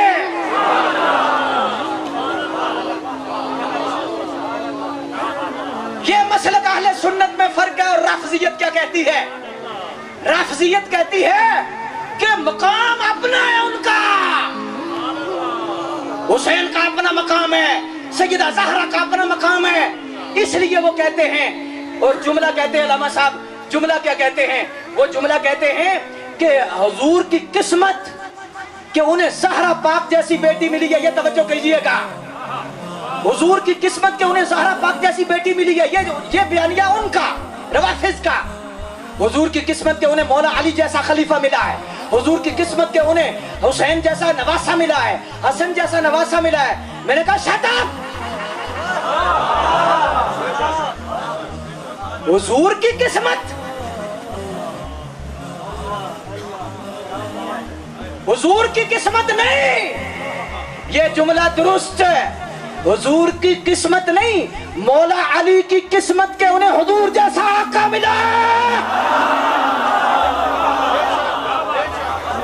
ये नज़रिया आले सुन्नत है। सैयदा सहरा पाक की करोड़ों शान, अजमत, मकाम, मर्तबे। क्या बात है सैयदा सहरा पाक की? वो अल्लाह जल्ला क्या बात है? कोई बंदा बयान नहीं कर सकता। लेकिन ये जुमला ठीक नहीं कि हुजूर की किस्मत के उन्हें जहरा जैसी बेटी मिली है। जहरा पाक की किस्मत के उन्हें हुजूर जैसा वालिद मिला। मसला अगर समझ आ गया तो फिर बोलो ना। मैं ग्यारह मिनट ग्यारहवीं वाली सरकार के जाया नहीं करना चाहता। अल्लाह हज़रत इमाम हसन की बड़ी शान है। बड़ा मकाम है, बड़ा मरतबा है। लेकिन हज़रत इमाम हुसैन का बड़ा मकाम और बड़ा मरतबा है। लेकिन ये गलत बात है जो जो नज़रिया राफजियत का, कि उनके अपना मकाम है, उनका अपना मर्तबा है और उनकी वजह से हजूर को शाने मिली है। उनकी वजह से हजूर को मकाम मिला है। आगे फिर वो बकते हैं कि अंबिया को भी मकाम उनकी वजह से मिला है। आदम को मकाम भी उनकी वजह से मिला है। और नबियों को मकाम उसकी वजह से मिला है। इसीलिए उम्मुल अंबिया का लकब जो है, वो सिंध असम्बली में इन्होंने दिया। ये कोई छोटी बात नहीं। ये ऐसे काले हैं कि मरजइयों से भी ज़्यादा काले हैं। अभी वक्त नहीं कि उस एतबार से किबला में परेशान करूँ। ये काले मरजइयों से भी काले हैं। हाँ उस एतबार से मैं जो बात आपके सामने रखना चाहता हूँ, मोहब्बत के साथ पूछे अर्ज़ करना चाहता हूँ। खत्म नबुवत का मुनकर, अगर कादियानी हो तो वो भी खत्म नबुवत का मुनकर है। और जो नबी पाक वसल्लम के बाद अल्लाह हज़रत सैयदा फातिमा ज़हरा का को है। और ये मासूम का मसला भी इसीलिए है। इसीलिए मासूम का मसला है कि वो लोग मासूम कहते हैं, अंबिया के बराबर या अंबिया से अफजल कहते हैं। सैयदा ज़हरा पाक को को। इसलिए डॉक्टर जलाली कल्प रहा है, होश करो, होश। उनका जवाब देते हुए उन्होंने ये बात बयान की है कि मासूम जब ये कहते हैं कि ये मासूम है सैयदा ज़हरा तो जब मासूम दरबार सिद्दीक अकबर में हज़रत सिद्दीक अकबर की बारगाह में गई तो अब वाजिब था क्योंकि वो तो गुनाह कर ही नहीं सकती। तो वाजिब था सिद्दीक अकबर पर हुक्म पे अमल करना। अब उन्होंने हुक्म पे अमल नहीं किया तो लिहाज फासिक हो गए फाजिर हो गए काफिर हो गए फला हो गए फला हो गए जिस तरह उनके क्लिप भी, भी मौजूद है। तो इस पर पीर मेर अली शाह साहब अलैहि ने फरमाया ये जो तुम जो लेते हो। फरमाया, महफूज अनिल खता। और ये जो तुम, ये जो तुम, तुम्हारा बयानिया मौसूम का, ये नहीं कि वो गलती कर नहीं सकती। ना। इस बयानिए के अंदर ये मसला है। और अगर मैं तफसील में जाऊँगा तो फिर मसला बन जाएगा। ये बड़ी नाजक बात है। और असल मसला अकीदे आले सुन्नत का है। और मासूम क्या कर वो खत्म नबूवत पे हमला करते हैं और डाका डालते मासूम क्या कर? और एक गुलाम अहमद कादियानी एक जुमला कहने लगा हूँ, समझ आप लीजिएगा। उसने नबूवत का दावा किया तो वो काफिर है। और नबी पाक के बाद जो बारह का दावा करे नहीं समझ आई। बारह बारह मासूम अनिल खता। मूसा से भी अफजल ईसा से भी अफजल माजल्ला सुम्मा माजल्ला ये कोई टपा छुका अकीदा नहीं उनका। और खुदा की कसम मैं रो के अर्ज़ करता हूँ, ये कोई फिरका बंदी नहीं एजेंसियों के लोग भी बैठे हैं। कोई तफरका परवरी नहीं। हम तो अपना बाग बचा रहे हैं। उजड़ रहा है बाग। अल्लाह अकबर जल्ला शानुम जिसमें कुछ बागबान भी साथ मिल गए तो इस एतबार से मुक्तदर सामी नजरात ये मसला है कि वो जब मासूम नबी के हवाले से या नबी से अफजल कहा जाए तो खत्म नबूबत का मसला, अकीदा उस पर हरफ आता है। और वो कादियानी से भी बड़ा मुजरम बन जाता है जो सरकार के बाद किसी इमाम को नबी से अफजल समझे या नबी समझे। ये मसला है हकीकत में। तो इस एतबार से मुख्तर स्वामी नजरात ये मसला है कि हमारा मरकज सरकार है। हम ये नहीं कहते कि सैयदा जहरा पाक की शान नहीं इमाम हसन की शान नहीं, इमाम हुसैन की शान नहीं। मैंने पहले अर्ज़ किया कि हम तो उस मदीने के कुत्ते का इतना हया करते हैं। हम तो टोपियों को चुपने वाले हैं। हम तो तस्बियों को चूमने वाले लोग हैं। लेकिन सैयदा जहरा पाक सुबहान अल्लाह लेकिन अकीदे के अतबार से मैं सिर्फ़ इतनी बात अर्ज़ करूँगा ये रवा फस का बयानिया है कि हसैन और इमाम हुसैन की अल्लाह हुजूर की किस्मत के उन्हें इमाम हुसैन जैसा नवासा मिला है। हम कहते हैं, इमाम हुसैन की किस्मत के उन्हें हजूर जैसा नाना मिला है। इमाम हसन की किस्मत कि उन्हें हजूर जैसा नाना मिला है। सैयदा जहरा पाक की किस्मत कि उन्हें हजूर जैसा वालिद मिला है। मौला अली की किस्मत कि उन्हें हजूर जैसा हजूर जैसा आका मिला है। सैयदना सिद्दीक अकबर की किस्मत कि उन्हें हुजूर जैसा आका मिला है। फारूक आज़म की किस्मत, बेशक रब से मांग के लिया, उनकी किस्मत के हुजूर जैसा आका मिला है। उस्मान गनी की किस्मत कि उन्हें हुजूर जैसा आका मिला है। अगर हुजूर न होते तो कुछ भी न होता, न होती ज़मीन, न होता मलक भी न जिन्नो बशर, न हुरो मलक भी खलील कलीम सफी भी न होते, वली भी न होते, नबी भी न होते, न तौरात होती, न इंजिल होती, न दुनिया में फौजे अबा भी न होती, न कुरान आता, न तौहीद होती, न बख्शिश न बख्शिश की उम्मीद होती, न लोहो कलम, न ये चाँद तारे, न जन्नत, न दोजख, न दरिया दहारे। जहाँ में किसी शय का साया न होता, जो रब ने मोहम्मद बनाया ना। ये नज़रिया अहले सुन्नत है, हुजूर के सदके। इसलिए मेरे आला हज़रत, आज कुछ कुछ बंदू को आला हज़रत का नाम लेना भी नहीं आता, मौलवी साहब। मैंने कहा अब्बा जी से तो पूछ लो, मौलवी साहब कैसे थे? अल्लाह अकबर जल्ला शानो। आला हज़रत है नहीं, हज़रत नहीं, आला हज़रत इसीलिए क्या गए और फरमाया, सुन मेरे नबी की शान क्या है? क्या आजमत है? वो जो न थे तो कुछ न था। शाह साहब की जियारत करके हाथ उठा के कहो सुबहान अल्लाह और हाथ उठा के कह दो सुबहान अल्लाह दस मुहर्रम में हाजिरी लग रही है, कह दो सुबहान अल्लाह वो जो न थे तो कुछ न था। वो जो न हो तो कुछ न हो। जान है वो जहान की। जान है तो जहान है।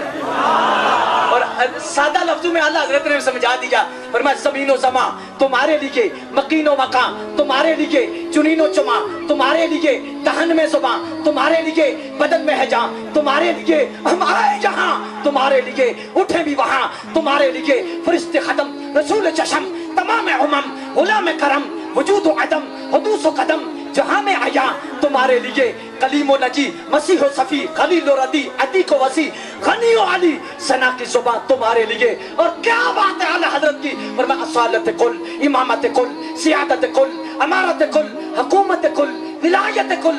खुदा के यहाँ तुम्हारे लिए, या रसूलुल्लाह, हम आए यहाँ, तुम्हारे लिए उठेंगे भी वहाँ।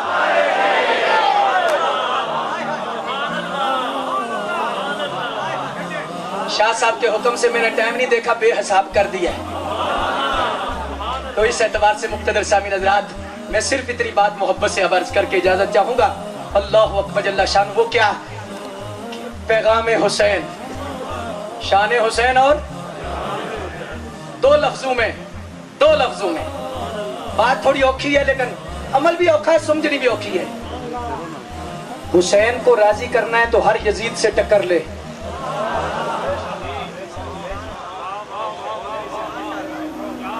ਹੁਣ ਸੌਂ ਜਾਓ ਸੌਂ ਜਾਓ ਸੌਂ ਜਾਓ ਸਦਕੇ ਜਾਵਾਂ ਸਦਕੇ ਜਾਵਾਂ ਤੇ ਨੇੜੇ ਨਾ ਆਵਾਂ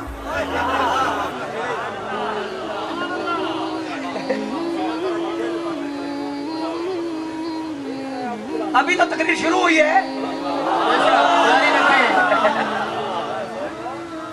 और एक एक एक पुत्र था ना अब्बा जी का तो बड़ा लाडला था कहता अब्बा जी थोड़े नाल बड़ा ही प्यार है बड़ी मोहब्बत है क्या बात है थोड़े नाल बड़ा प्यार है। पुत्र जा पट्ठे लिया अब्बा जी, प्यार बड़ा पट्ठे, आप भूल जाओ और ये तो उनका बयानिया जिनका ज़ाहिर भी काला है, जिनका बातर भी काला है, बस। ये असल है पैगाम हुसैन वाले। ये असल है हसन हुसैन वाले। उसकी दलील क्या है कि सुनियों में वली है? ये एक लादा मौजू है। अगर सच्चे हो तो को वली लेके आओ। कोई दाता अली हजवेरी कोई मेर अली कोई जमात अली कोई हिंदुल वली कोई हौसे आज़म कोई इमाम आज़म। इमाम हसन हुसैन के वारस तो इधर है। तो तुसी कौन असी उनसे ही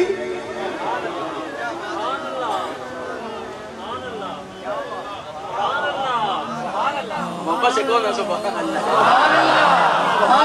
करूँगा मुख्तसर करने लगा बात।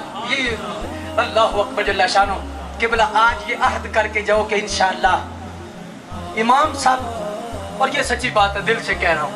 साबरी साहब बुज़ुर्ग उलमा, सदात बैठे। क्या बात है, ये- इनका नाम क्या मुझे याद नहीं है? राय साहब की क्या बात है इनका इनका, इनके मुआविरीन, मुतल्लिकीन, जितने साहिब फराश लोग हैं। अल्लाह अकबर शानो जब साहिब फराश हों तो हुजूर की ज्यारत हो जाए ना। बस मैंने दुआ दे दी है।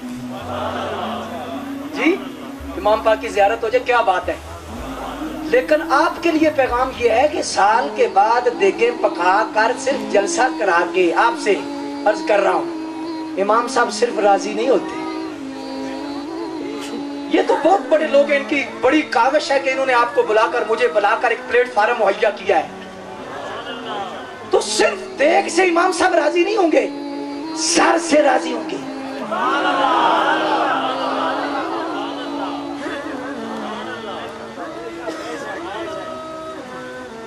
अच्छा कहोगे जी जदीद तो उस वक्त था आज यजीद यजीद एक फर्द का नाम नहीं, करदार का नाम है। अगर पीछे देखोगे यजीद ही यजीद नज़र आएँगे आज इस मुहर्रम में ज़िंदगी का कोई पता नहीं आगे कि एक साल है, एक दिन है, एक रात है। कोई पता नहीं, हो सकता है कि शाम को मैं हूँ, ना हूँ, आप हूँ, ना हूँ। लेकिन निश्चित कर जाओ आज। राया साहब की इस महफिल पाक में और दीगर साथियों ने जो सजाई है कि इंशाअल्लाह इमाम हुसैन को राज़ी करेंगे। और राज़ी किस तरह करना है? देख देकर नहीं। सर देकर कौन कौन सर दे सकता है? ओ, वाह ओ, वाह।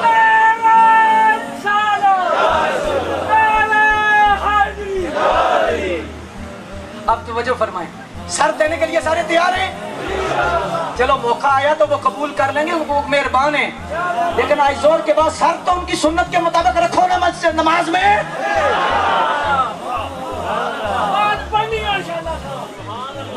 आप सर देने के लिए सारे हाथ खड़े थे। सर चुकाने के लिए। बस यही पैगाम है, बहुत ही गल्ला च फ़ायदा कोई नहीं। असा नेड़ियों गल मकाउनी है वारिस शाह भी गल करिए जी अगा भी कम अल्लाह अकबर जल्ला शानो और दूसरी बात में एक इजाज़त कर दूँ। मुझे बार बार अलामा साहब कह रहे हैं और गोलकुमा भी दे रहे हैं कि जारी रखें। अल्लाह अकबर जल्ला शानो उस एतबार से मैं एक और मोहब्बत से बात अर्ज़ करने लगा हूँ। बड़ी मोहब्बत से। अल्लाह अकबर जल्ला शान कि अगर सर कुट- कटाने के लिए सारे तैयार हैं। सर? तो सर झुकाने के लिए। बोलो। अल्लाह से वादा करना इमाम पाक का दिन है। पक्की होगी? ओहो खालक ओहो मालक। मुड़ के उ जाना ही। रब नु राज़ी कर ले बंदिया जिन्ने पा तुरता चाहना है अपने घर नु सफ़र तेरा मुक जाना ही। ना ये तेरी मंजिल ते, ना ये तेरा ठिकाना है। कल किसे कब्र पे लिखा होवेगा, फलाना बिन फलाना है। ओही तेरी मंजिल है ते ओही तेरा ठिकाना है। ओ कानू बीज ने कंडे चलया, फिर जे तू पछतावेगा, चंगा बीज, चंगा कट्टी, चंगा फल तू पावे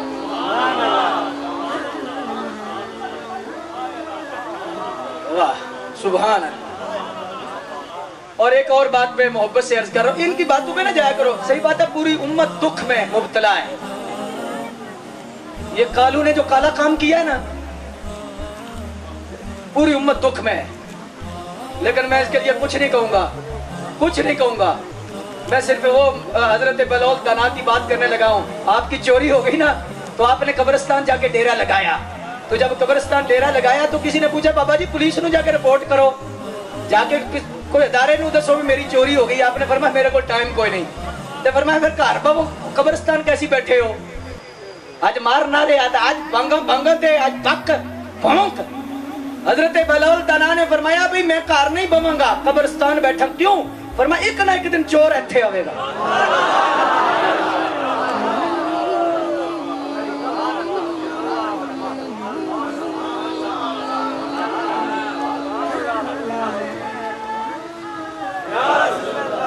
आज ते पंद्रह लाख लगे मजलिस पढ़ लेना आज नारे मार दे, जो कुछ मर्ज़ी करे।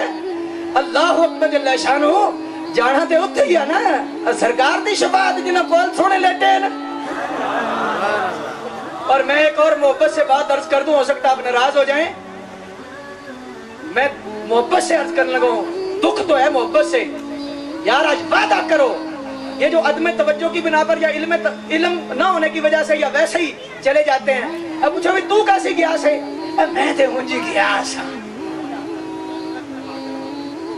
मैं ते एवं ही गया सा मैं क्या बंदे दे आप पुत्रा एवं का की मतलब ਅੱਜ ਚਾਵਲਾਂ ਦੇ ਦਾਣੇ ਤੈਨੂੰ ਜ਼ਹਿਰ ਆਉਣ ਲੱਗਣਗੇ ਜੇ ਅੱਜ ਅਸਲ ਤੈਨੂੰ ਪਤਾ ਲੱਗ ਗਿਆ ਅੱਜ ਤੇ ਚਾਵਲ ਦੀ ਪਲੇਟ ਵਾਸਤੇ ਤੂੰ ਆਣਾ ਨਹੀਂ ਚਲੋ ਕੋਈ ਨਹੀਂ ਚਾਵਲਾਂ ਦੀ ਪਲੇਟ ਮੈਨੂੰ ਲੱਭ ਜਾਏਗੀ ਉਸ ਜ਼ਹਿਰ ਨਾਲੋਂ ਭੁੱਖਾ ਮਾਰ ਜਿਸ ਜਗ੍ਹਾ ਸਿੱਦੀਕ ਅਕਬਰ ਨੂੰ ਬੰਦਾ ਭੌਂਕੇ ਫਾਰੂਕ ਆਜ਼ਮ ਨੂੰ ਭੌਂਕੇ ਸਾਹਬਾ ਨੂੰ ਭੌਂਕੇ ਯਾ ਲੈ ਬੈਤ ਦੀਆਂ ਗੁਸਤਾਖੀਆਂ ਕਰੇ ਉਹਦੀ ਚਾਵਲਾਂ ਦੀ ਪਲੇਟ ਨਾਲੋਂ ਜ਼ਹਿਰ ਚੰਗਾ ਤੇਰੇ ਵਾਸਤੇ ए आखोगे वैसी साहब आइंदा पिंडी ना वन बड़े डाडे। अल्लाह अकबर जल्ला शान। मैं जो बात आपसे अर्ज़ करने लगा हूँ और यार अपने अंदर गैरत पैदा करो, गैरत। हज़रत बायजीद मुस्तामी का रुतबा पता कितना है? चलो मैं अर्ज़ कर ही देता हूँ। अल्लाह अकबर, बायजीद मुस्तामी एक वली की जियारत करने के लिए गए, पता नहीं कितने महीनों का सफ़र किया। जब देखा ना कि वो बंदा आगे है, लेकिन किबले की तरफ़ उसने थूक दिया है। किबले की तरफ़ थूका है। सलाम नहीं लिया। कहा बाजिद की गैरत गवारा नहीं करती कि जो रब के घर का अदब नहीं करता, रब का क्या अदब करेगा? वापस आ गए। जब वापस आए, थक टूट गए थे। जहर है, दिल टूट जाता है कि मैं जो गया था जियारत के लिए तो वो मकसद हासिल नहीं हुआ। रात को सोए हुजूर की जियारत हो गई। और मैं बायजीद जी हुजूर। और फरमाया, तू रब दी गैरत वास्ते ते, रब दे अदब वास्ते ते, मेरी शरीयत वास्ते हाथ मिलाना गवारा नहीं किता, रब नु इन्ना पसंद आया फरमाया, बायजीद, इस वास्ते रब ने त्री दर्जे तेरे बुलंद कर दिते ना।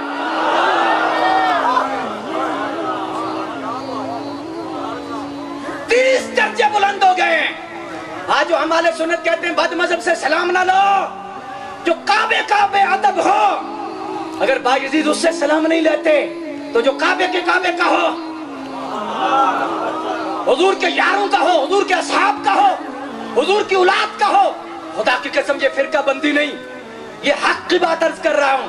खुदारा, हजूर ने मना फरमाया फरमाया, बद मज़हब लोगों के जल से अपनी जाकर ना बढ़ाओ, कसरत ना करो उनकी। खबरदार तो इसलिए मोहब्बत से मैं अर्ज़ करूँगा ऐसे प्रोग्रामों में जिनमें जन्नत की खुशबू आती है। सही बात है, जन्नत की खुशबू आ रही है। ऐसे प्रोग्रामों में शामिल हुआ करो। अल्लाह पाक हमारी नौकरी को कबूल मंजूर फरमाए। अब अगर आप खुश हैं तो वाकई आपके चेहरे तो खुश हैं तो फिर नारा लगाना है, आख दी ठंडक, दिल दा चैन ते सही लाना है डट के लाना है ते हाथ चुक के लाना है मुँह खोल के लाना है अखा खोल के लाना है ते दिल दी तरफ़ तवज्जो करके लाना है ते करबला दा तसव्वुर बन के लाना है ते सैयदा ज़हरा पाक नु राज़ी करने वास्ते लाना है। अख दी ठंडक दिल दा चैन। अख दी ठंडक दिल दा चैन। अख दी ठंडक दिल दा चैन। ताजदारे खत्म नबुव्वत ताजदारे खत्म नबुव्वत मुंतजिमीन के लिए एक नारा ने इज्जतें दे। आप सबके लिए अल्लाह आपको इज्जतें दे। शाह साहब को साबरी साहब को तहरीक सिरात मुस्तकीम को सारी सुनियों की तंजीमों को अल्लाह इज्जतें दे। और सबके लिए नारा लगाओ ताजदार खत्म नबुव्वत। ताजदार खत्म नबुव्वत।